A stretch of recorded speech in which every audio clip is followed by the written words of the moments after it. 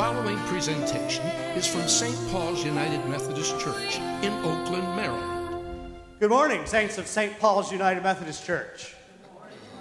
Good morning. Happy All Saints Sunday as we have come together to rejoice in what we call the communion of the saints. You know, you say we're Methodists. We don't believe in, in uh, praying to the saints or anything like that, but we do believe in the very biblical doctrine that we are part of something larger than us. That it's not just about us as the body of Christ here at St. Paul's, and it's not just about the church on earth, but there is also the great cloud of witnesses that is in heaven. And today we celebrate our connection that we are both the church triumphant, the church that has already overcome, but also the church that is waiting for that promise, the church militant. And so we celebrate that connection today.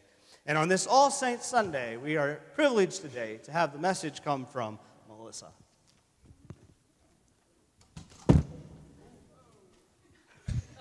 Nice catch. I'm not used to this. You got to bear with me. All right, good morning. It's good to see you all here this morning. Um, I may have begged Matt to let me preach on All Saints Sunday um, because this is one of my favorite Sundays out of the entire year. Um, I love the um, I love that we get to join with the great crowd of witnesses that is surrounding God's throne in worship and praise. Um, and we get to join our voices and our praise with theirs today. Um, so let's go ahead and pray. Dear Lord, we thank you so much for this day that we get to join with the church triumphant in declaring your praise and in worshiping you. Lord, and I just pray that um, you would minister to our hearts today and that you would um, strengthen and encourage us as we continue on this journey of faith. In Jesus' name, amen. So, I have a confession to make. This may be a little shocking to some of you, so I need you to prepare yourselves. I am a grammar nerd. Yes, that's right. I love the Oxford comma. The semicolon is my favorite punctuation mark. And sentence diagramming was one of the highlights of my high school career.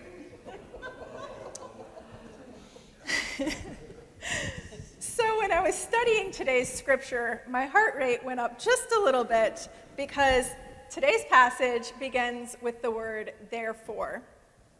Therefore is an adverb, which means its job in a sentence is to provide a greater description to a verb, adjective, another adverb, a phrase, clause, or a sentence. The definition of therefore is for that reason or consequently. Synonyms are as a result, hence, thus, that being the case, and on that account. I know, I know, you guys need to keep it down a little bit. This is stimulating stuff. But you know what's really exciting about therefore?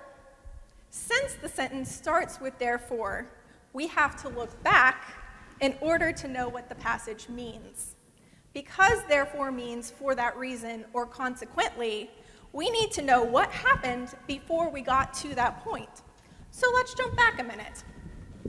Hebrews 11, 1 through 7 says, Now faith is the assurance of things hoped for, the conviction of things not seen. Indeed, by faith our ancestors received approval.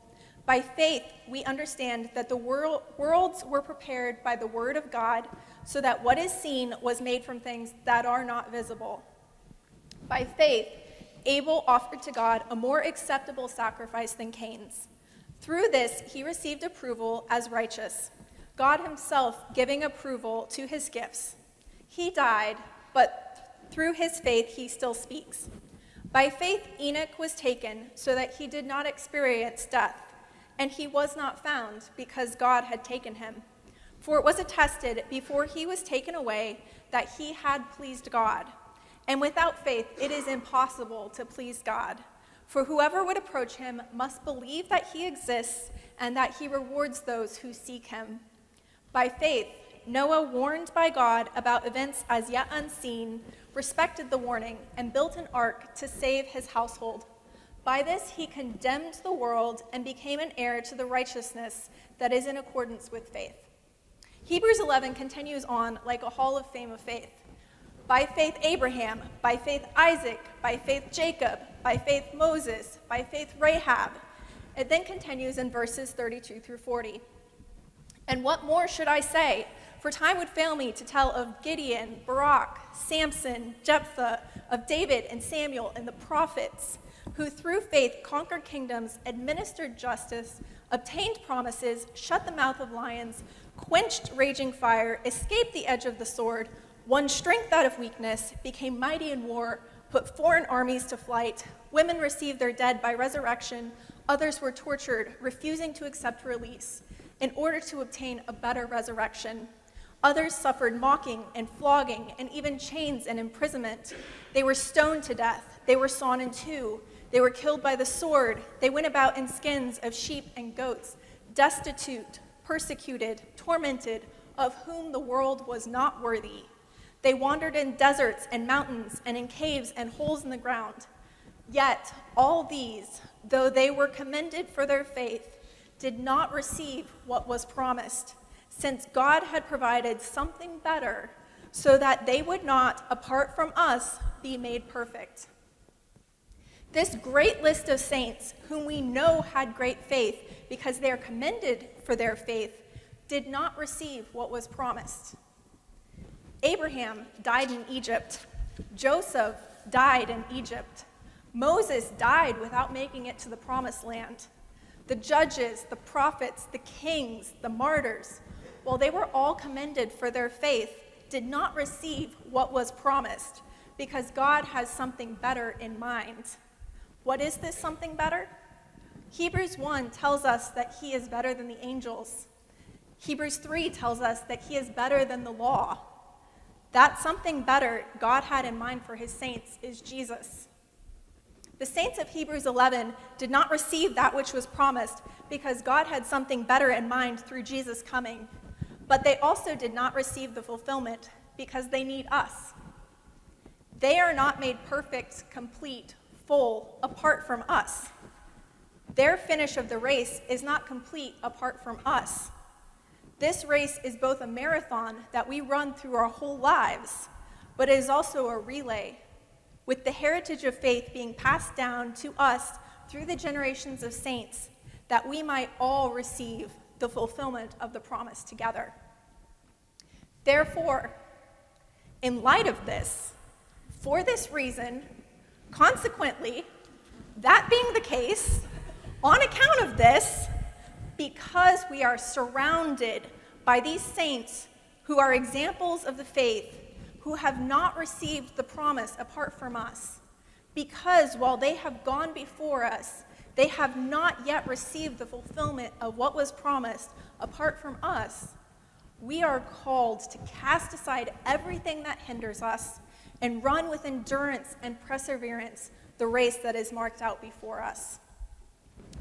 Their lives are an example because while they were imperfect, they fixed their eyes on God and continued after him. They made mistakes. David committed adultery and had his lover's husband murdered. They failed. Samson and Gideon and Barak all failed in the fulfillment of their role as judges over Israel. They had doubts. Abraham had a child with Hagar rather than believing that God's promise will be fulfilled through his wife Sarah. They were disobedient. Moses was denied entry to the promised land because he disobeyed God's command. But all of these saints continued on in faith, fixing their eyes on an unseen God, believing in his promises, assured in what they hoped for, and convicted by what they could not see. They continued on in the race, believing that the fulfillment of the promise would come. They continued on because God is faithful to make us faithful to Him. And as Anne said in the children's moment, we all have our own Hall of Fame of Saints, don't we? For time would fail me to tell of my grandpa, Lyle Sylvester, who had a revival of his faith in his 70s and memorized Bible verses while driving a combine in his 80s because he didn't want any of the young men in his men's group to get ahead of him in faith. Of my grandma, Lois Jean Sylvester, who made the most of every day she lived, living full out with an unflappable sense of humor and a heart full of love, even as cancer ate away at her body. Of my grandpa, Phil Hill, who loved to practice hospitality and constantly had an open door for anyone who needed a place to stay. Of Herbert Layton, who cared deeply for his patients to the point of giving his own blood to them when they needed it. Of Rob Browning, who followed God and made everyone his family. Of Daniel Paul, who never ceased lifting his hands and voice to praise God to the very end of his life on this earth. We all have our own Hall of Fame of saints whose lives inspire us and who are now surrounding the throne of God. And even these have not yet received that which was promised because they're waiting for us. This crowd of witnesses surrounds us, inspires us, encourages us to lay aside everything holding us back, everything that might weigh us down, and run with perseverance as they did fixing our eyes on the one who is unseen, but who has run this race as well. Because Jesus didn't just sit on a throne, he came down. He ran the race. He was so overwhelmed with the joy that was set before him, the joy of fulfilling the promise, the joy of being our completion, the joy of finishing the race and being our something better, that he endured the cross, despising its shame, and now he wears a victor's crown. He crossed the finish line, and he is seated at God's right hand where we are encouraged to fix our gaze. They looked to him. That's where the saints look to him. They fix their gaze on him. And he is unseen, but they see him now. Their examples encourage us to do the same. We need to cast aside everything else and fix our eyes on Jesus, even though we do not yet see him. And we need to run to him. We remember the saints because their lives and examples of faith are there to remind us when the race gets difficult, when we feel like stopping, when we don't think we can go another step, when our doubts are strong and our faith is weak, that we need to keep running. We look back through this relay of faith from Abel to Enoch to Noah to Abraham to Sarah to Isaac to Jacob to Joseph to Moses to Rahab to Gideon to Barak to Samson to Samuel to David and on through the generations of our faith ancestors who are passing this legacy of faith on to us and whose example spurs us onward in the race. This great crowd of witnesses surrounds us and they are cheering for us to continue on in the faith so that we might all be made perfect and complete together so that we might all finish the race.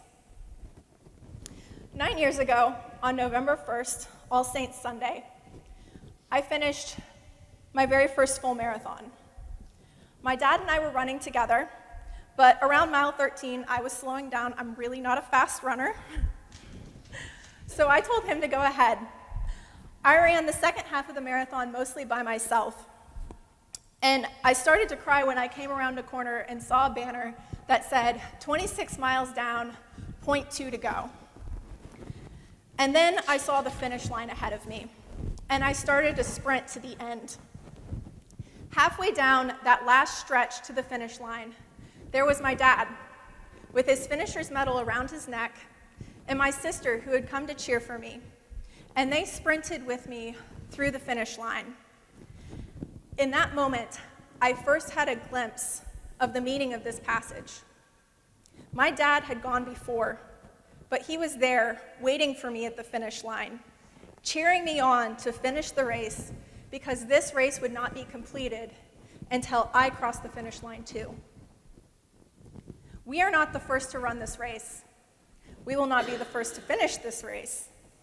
We are the next and a great lineage of faith. We are being called to take up our place in the race to become the next generation of this legacy of faith. We are called to run with endurance, fixing our eyes on the fulfillment of the promise, Jesus, and being spurred on by the cheers of this great crowd of witnesses surrounding us who are not made perfect apart from us. Therefore, since we are surrounded by Abel and Enoch and Abraham and Sarah and Lyle and Lois Jean and Phil and Herb and Rob and Daniel. Let us throw aside everything holding us back and run with endurance toward the finish line as we fix our eyes on Jesus, the great reward of our faith, that we might all be made perfect and complete together. Amen. Dear Lord, we just thank you so much for this day where we get to celebrate and worship you. Lord, we thank you for all of the saints who have gone before us and whose lives inspire us to continue fixing our eyes upon you. In Jesus' name we pray. Amen.